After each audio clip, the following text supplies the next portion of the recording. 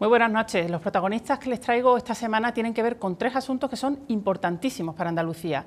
Son la financiación autonómica, los fondos europeos para la recuperación después de la pandemia y el presupuesto de la comunidad. Y a lo mejor dicen ustedes, vaya tema más áridos y más aburridos que me traen esta columna. Y sí que pueden ser áridos y es verdad que son temas, desde luego, complejos. Pero créanme que tienen mucho, en realidad todo que ver con eso que podemos llamar las cosas del comer o sea, el empleo, la educación de nuestros hijos, la atención médica que recibimos en el centro de salud, en fin, todos los servicios públicos esenciales para usted y para mí. Bien, pues del sistema de financiación han hablado hoy el presidente de la Junta de Andalucía y el de la Generalitat de Valencia, que se han reunido aquí en Sevilla.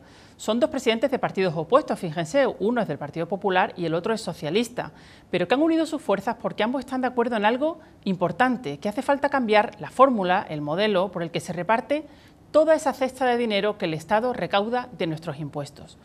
Y con ese dinero se paga todo, desde las carreteras hasta la sanidad. Andalucía y Valencia llevan mucho tiempo quejándose de que reciben menos de lo que les corresponde y tienen razón, porque otras regiones están llevando más porción de la tarta de la cuenta y eso debe corregirse. La segunda cuestión va también de reparto de dinero, esta vez de los miles de millones de euros que van a llegar de Europa para reconstruir la economía, ahora que estamos ya enfilando, esperemos, el fin de la pandemia. Ayer estuvo aquí la presidenta Nadia Calviño eh, para pedir al Gobierno andaluz la lista de los proyectos que considera prioritarios para invertir.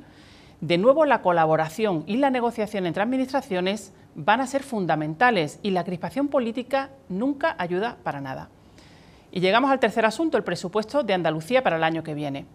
El gobierno andaluz no tiene claro que vaya a contar con el apoyo de Vox, como ha ocurrido otras veces. Incluso se está hablando de prorrogar el actual presupuesto. Esto quiere decir repetir los mismos números que han sido válidos este año. Esto legalmente es posible, pero realmente nada recomendable en este momento. Piensen que las perspectivas de 2022 no tienen nada que ver con las de este año.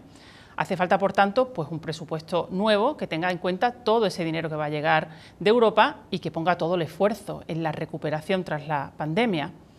El nuevo PSOE de Juan Espadas se ha ofrecido a negociar su apoyo a estos presupuestos, pero parece que el Gobierno del Partido Popular y Ciudadanos no se fía, incluso siguen jugando con la opción de un adelanto electoral.